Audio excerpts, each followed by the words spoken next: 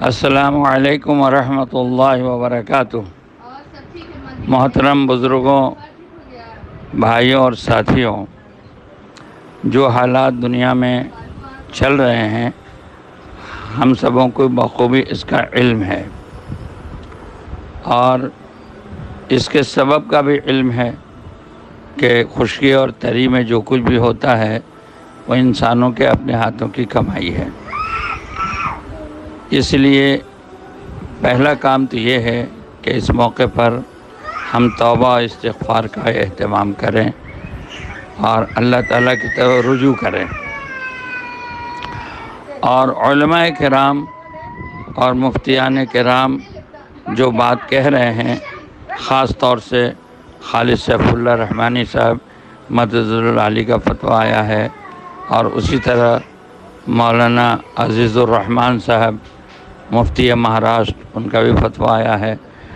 اور بھی حضرت مولانا سجاد نعمانی، دیگر علماء کرام، سارے علماء اس بات پر متفق ہیں کہ لوگ اپنے گھروں میں رہیں۔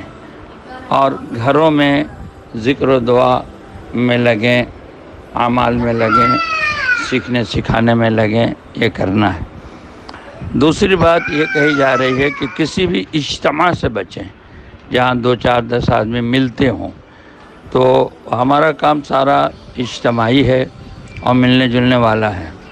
اس لیے ہم گھروں میں اپنے آپ کو مقید کریں۔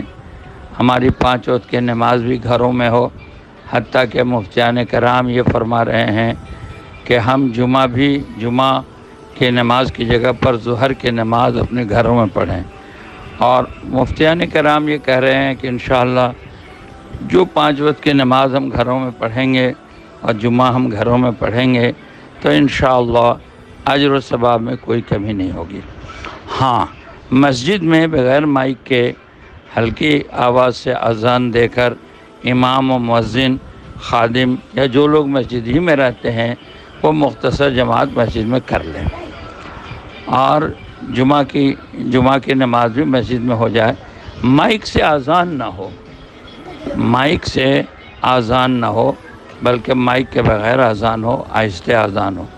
اور اپنی اپنی مساجد سے یہ بھی اعلان کرا دیں کہ صاحب، لوگ، گاؤں والے، محلے والے اپنی پانچ وقتہ نمازیں گھر میں پڑھیں، جمعہ بھی گھر میں پڑھیں، یہ مسجد سے اعلان ہو جائے۔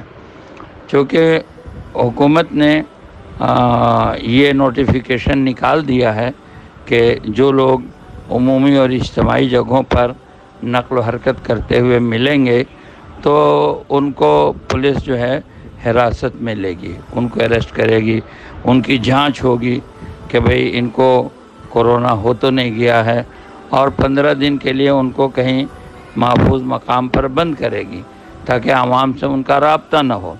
تو اس پریشانی و مصیبت سے بچنے کے لیے زیادہ بہتر یہ ہے کہ ہم گھروں میں رہیں۔ اور اپنا ذکر و دعا میں لگیں، تلاوت میں لگیں، اللہ کے طرف رجوع کریں۔ گھر والوں میں ہی سیکھنا سکھانا ہو، گھر والوں میں ہی دعاؤں کا اہتمام ہو۔ باہر نکلنے سے ہم بچیں۔ ایک بات تو یہ ہے۔ دوسری بات جو بہت اہم ہے وہ یہ ہے کہ ہمارے ملک میں یا ہمارے شہر اور گاؤں میں ایک بڑی آبادی وہ ہے جو روزانہ کمانے کھانے والی ہے۔ چونکہ مزدوری کی محنت کی ساری شکلیں بند ہو گئیں، لوگ باہر نہیں نکل رہے ہیں۔ تو ممکن ہے کہ ان کے گھروں میں تنگیاں ہوں، فاقے ہوں، پریشانیاں ہوں۔ تو ان کی مدد کے لیے بھی ہم کوئی نہ کوئی تدبیر کریں جو ہم کر سکتے ہیں۔ یہ تدبیر بھی اجتماعی شکل میں نہ ہو۔ اس لیے کہ جمع تو ہونا ہی نہیں ہے کہیں، نہ باہر نکلنا ہے۔ تو یہ بھی انفرادی طور پر، اپنے طور پر، اپنے پاس پڑوس والوں کا خیر خبر لے کر ان کو کوئی مدد ہم پہنچا سکیں تو ان کو مدد کریں۔ اس کا کوئی امتیاز نہ ہو کہ وہ کون ہے۔ انسان ہے۔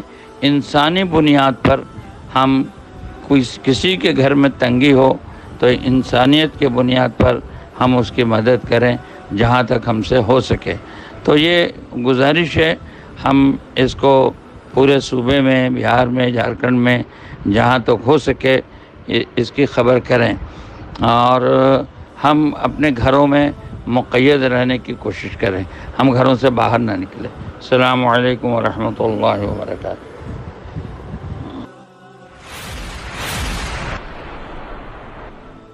حق نگر، حق نما، پیش را پیش را۔ اے حبیب